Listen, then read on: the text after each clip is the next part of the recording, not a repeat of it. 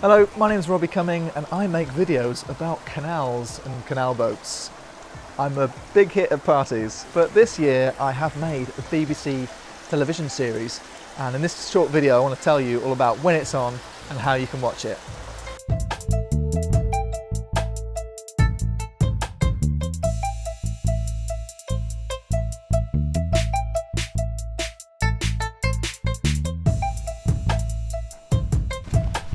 Hello, I'm just standing on a lock. Well, I'm standing on a on a post that's next to a lock on the Rochdale Canal, one of my favourite canals in the UK, and also one of the most underused and under-maintained canals. It's a real shame.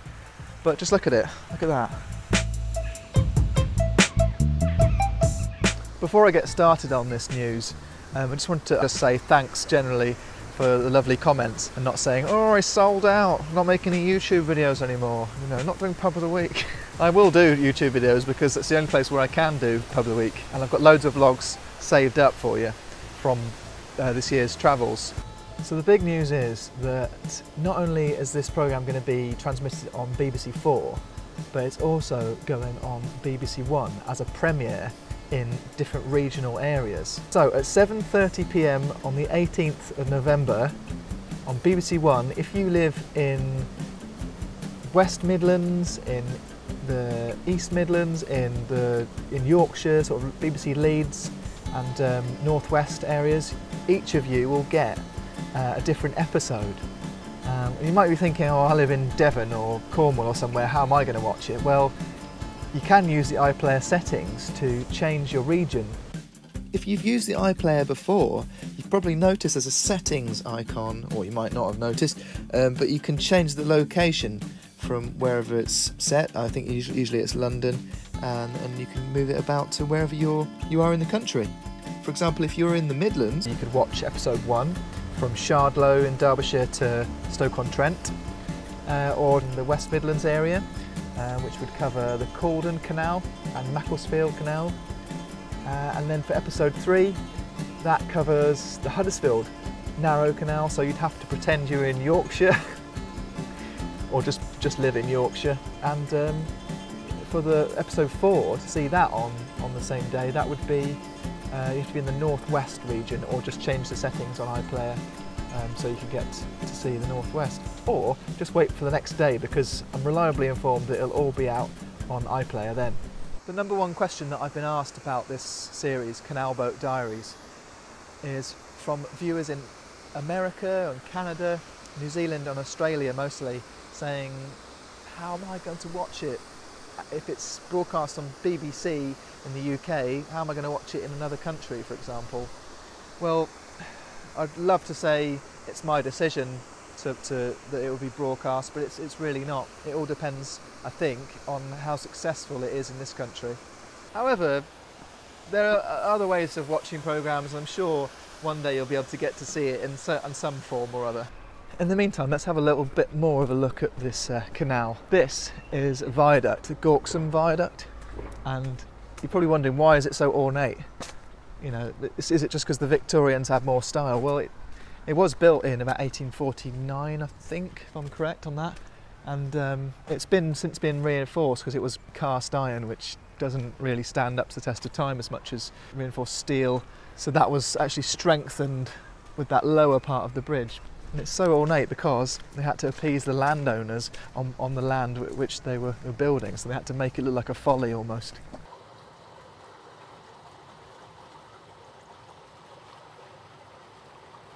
So beautiful around here, I love it. But it is also pretty gritty as well. You know, there's a bit of rubbish and um, yeah, obviously everything's overgrown. But it's just industrial heritage being reclaimed by nature, isn't it?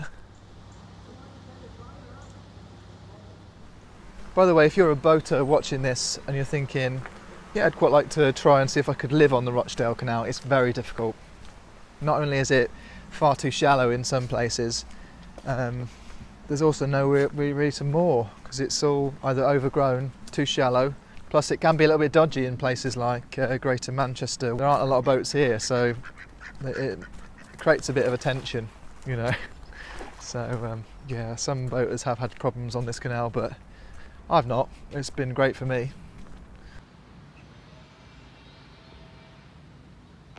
Right, I've got something really cool to show you around this next corner that also relates to the railways.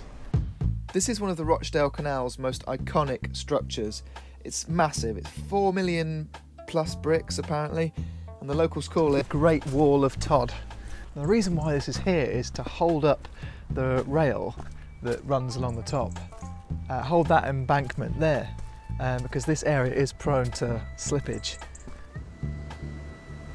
Just around the corner, you're actually in Todmorden itself, and this town is not far from the border of Lancashire and Yorkshire. In fact, the postcode here is an Oldham postcode. Oldham's in Greater Manchester.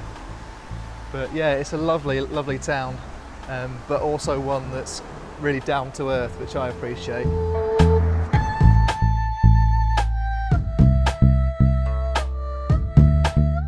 And across the side of the other side of this road, this is the canal, and this is where most people moor up. And you can have about two weeks there, which is unusual for this canal.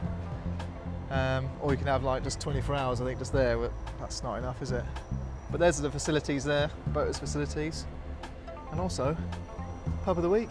But they're not quite open yet, so. It was not. Todmorden or Odmorden, as some of the locals call it. It's just things are crazy here, so don't always go to plan. It's time to leave Todmorden and the Rochdale Canal and return to the Leeds and Liverpool. That's the one I'm on at the moment with my boat, the Naughty Lass. There she is, still floating. And uh, yeah, going to take a little trip now, about a mile up the canal away from Liverpool.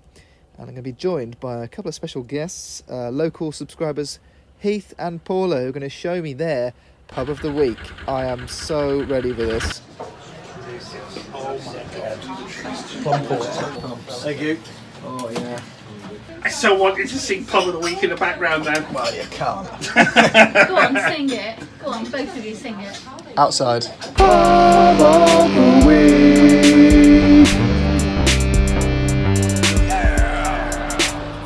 The Scotch Piper in Lydiate, which is 10 miles from Liverpool, claims to be the oldest pub in Lancashire, dating back to 1320. Survived a few fires, but uh, it's all looking all right now. And there's a space for your caravan if you're passing by. And there's lots of bikers and vi- vintage car meets.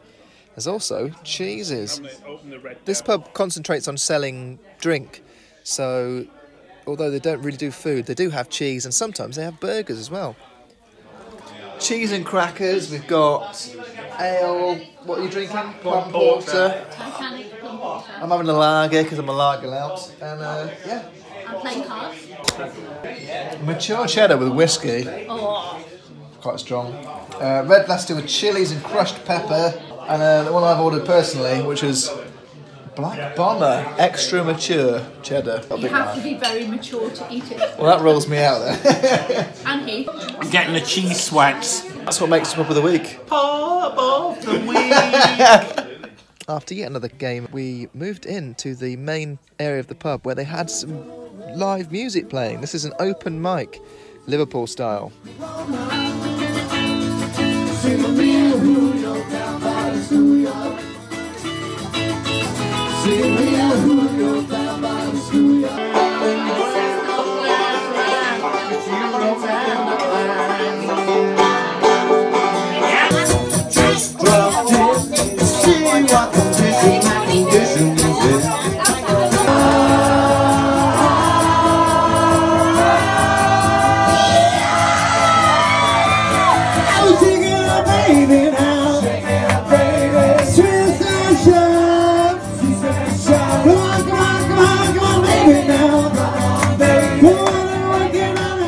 And as I struggled to get my cameraman to turn uh, to landscape mode, that was the end of the evening. Thoroughly enjoyed that. What a pub.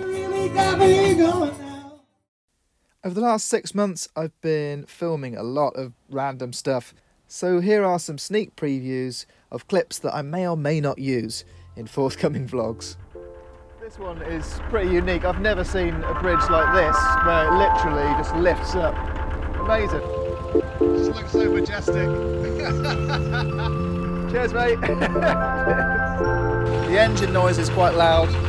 I've got more talking. Let's see if I can hear Andrew. Andrew, come in, over. Coming in over. This is executive narrowboating.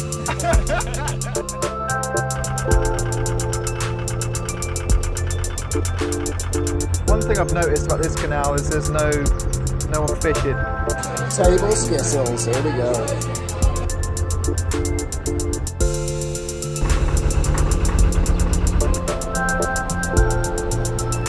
Perfect timing, by the way. Perfect timing.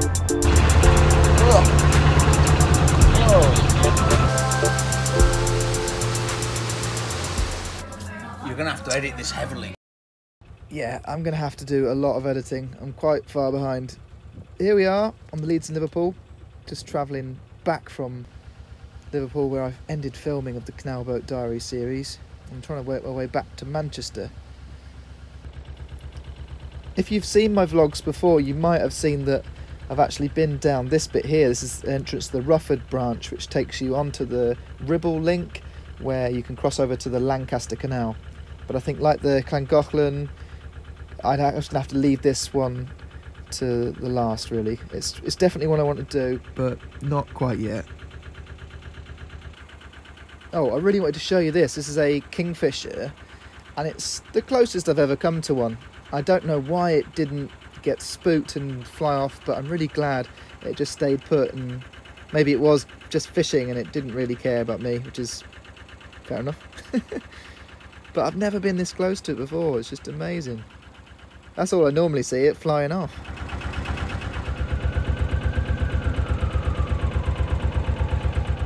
Right, that's the end of the video. I know it's been a really random news and pub of the week vlog, but yeah, hopefully, hopefully you enjoyed it. Thanks for watching, and uh, check out these pumpkins. It's almost time for Halloween. Amazing. Anyway, yeah, cheers. Bye bye.